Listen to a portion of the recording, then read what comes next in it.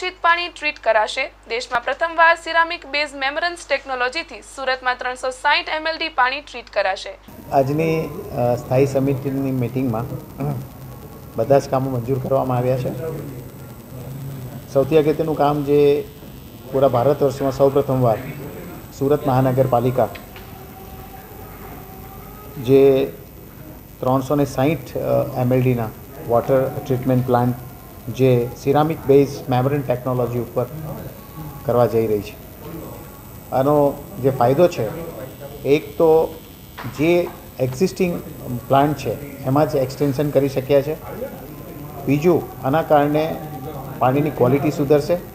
ઉપરાંત, પાણીની સ્મેલ કોઈ પણ સંજોગોમાં આવશે નહીં.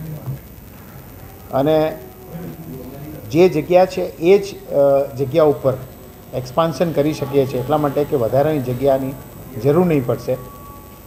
મેમરનને કારણે સ્પીડમાં પાણીને ટ્રીટ કરી શકાશે. આ સૌ પ્રથમવાર ભારત વર્ષની અંદર સુરત મહાનગરપાલિકા આ પ્રયોગ કરવા જઈ રહી છે, જે સુરત શહેરના નગરજનો માટે અને ખાસ કરીને સુરતમાં આવેલા નવા વિસ્તારોને ધ્યાનમાં રાખીને આ ટેકનોલોજીનો ઉપયોગ કરીને પાણીની શુદ્ધતા વધુ સારી થઈ શકે એની ઉપર સુરત મહાનગરપાલિકા આગળ વધી રહી છે.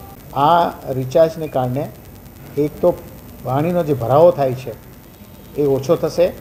જે લેવલથી ત્રણ કે ચાર દિવસ કે પાંચ દિવસ પાણી ભરાય છે, તેના લેવલો નીચા થશે અને શહેરીજનોને ઓછામાં ઓછી તકલીફ પડે એ ધ્યાનમાં રાખી સુરત મહાનગરપાલિકાએ દરેક એરિયામાં આ પાયલોટ પ્રોજેક્ટને ધ્યાનમાં રાખી બાકીના એરિયામાં પણ વોટર રિચાર્જિંગ સિસ્ટમ એડપ્ટ કરવાનું નક્કી કર્યું છે.